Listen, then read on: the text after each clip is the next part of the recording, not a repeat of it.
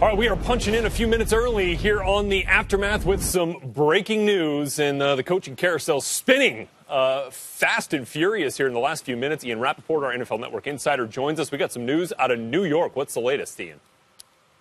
We do. Vikings offensive coordinator Pat Shurmur is the Giants' number one choice to be their new head coach, and I am told he is expected to accept the job when it is offered. Now, of course, the Giants cannot offer the job. They cannot negotiate with Shurmur until after his season is over.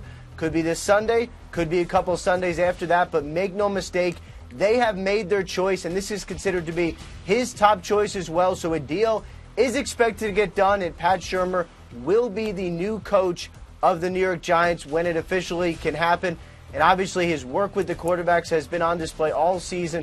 What he has done with Case Keenum, the Giants have the number two pick coming up in the draft could take a quarterback there, and they believe that his work with the quarterbacks will continue when he is their head coach. I guess it helps to have Buffalo right seven heaven in your back pocket and to have that thing work out. There you go. Uh, on uh,